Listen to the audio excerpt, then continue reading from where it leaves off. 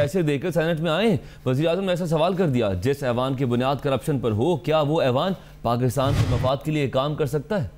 آخری دم تک مداخلت کرتا رہوں گا۔ اس برائی کا خاتمہ جہاد سمجھتا ہوں۔ شاید کاکان عباسی کی جانب سے یہ بھی کہا گیا کہ لوگوں نے کہا مجھے چیئرمین سینٹ کے انتخاب کے معاملے پر مداخلت نہیں کرنی چاہیے۔ اس برائی کا ہمیں ووٹ کے ذریعے مقابلہ کرنا ہے۔ آج اس برائی کا خاتمہ نہیں کیا تو یہ جڑیں کھوکھلا کر دیں گی۔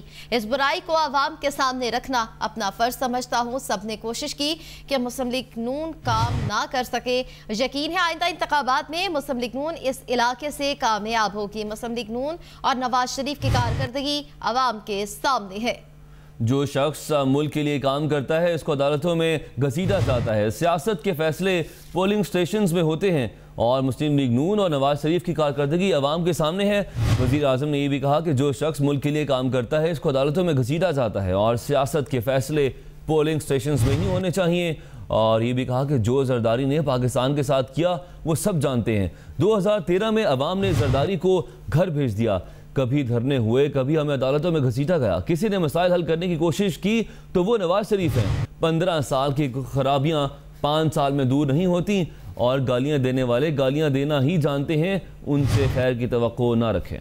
ہم نے کسی کے بارے میں برے الفاظ استعمال نہیں کیے۔ وزیر اعظم شاہد خاکان عباسی کی جانب سے کہا گیا کہ سازشیں ہوئیں، حکومت کو ہٹایا گیا۔ عوام اس کا جواب پولنگ سٹیشن پر دیں گے۔ ہم نے کسی کو گالی نہیں دی، کسی کی پگڑی نہیں اچھالی۔ روایت بن گئی ہے، جو ملک کے لیے کام کرے، اسے عدالت میں گھسیٹے۔ وزیر اعظم شاہد خاکان عباسی نے ڈیرہ غازی خان میں خطاب کرتے ہوئے کہا کہ عدالت کے بہت سے فیصلے تاریخ قبول نہیں کرتی ہے کیا ہمارے سینیٹرز وہ لوگ ہونے چاہیے جو پیسے دے کر سینٹ میں آئے؟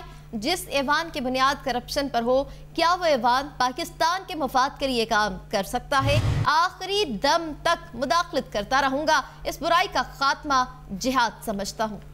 لوگوں نے کہا کہ مجھے چیئرمین سینٹ کے انتخاب کے معاملے پر مداخلت نہیں کرنی چاہیے۔ اس برائی کا ہمیں ووٹ کے ذریعے مقابلہ کرنا ہے۔ آج اس برائی کا خاتمہ نہیں کیا تو یہ جڑیں کھوکھلا کر دیں گی۔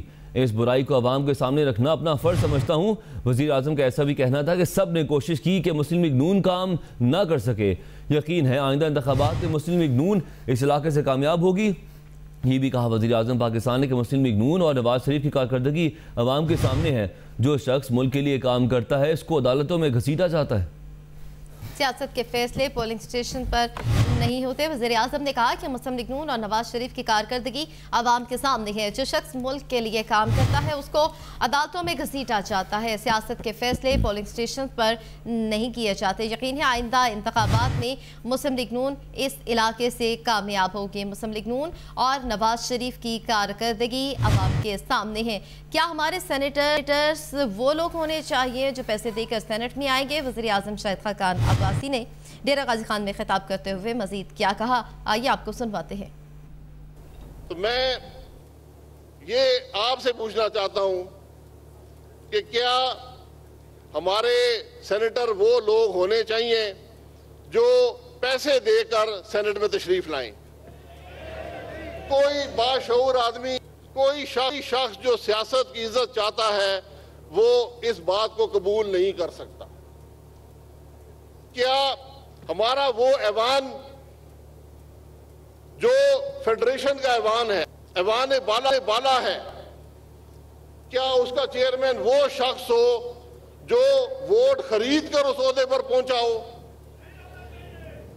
کوئی باشعور آدمی تسلیم آج یہ سیاست کا معیار ہے۔ یہ اس وہ برائی ہے جس کو ہم نے دور کرنا ہے۔ یہ وہ برائی ہے جو ہم نے اپنے ووٹ کے ذریعے دور کرنی ہے۔ یہ وہ برائیاں تھی جو ماضی میں ہوا کرتی تھی سیاست میں۔ ہم نے ان کا مقابلہ کیا۔ آج سترہ آدمی پاکستان مسلم لیگ نون کے الیکٹ ہوئے۔ میں پورے دعوے، پورے وسوخ سے کہتا ہوں کہ ایک روپیہ پاکستان مسلم لیگ نون نے بل واسطہ یا بلا واسطہ کسی کے الیکشن پر غازی وزیر اعظم شاید خاکان عباسی کا خطاب آپ نے سنا، جس میں انہوں نے کہا کہ عدالت کے بہت سے فیصلے تاریخ قبول نہیں کرتے۔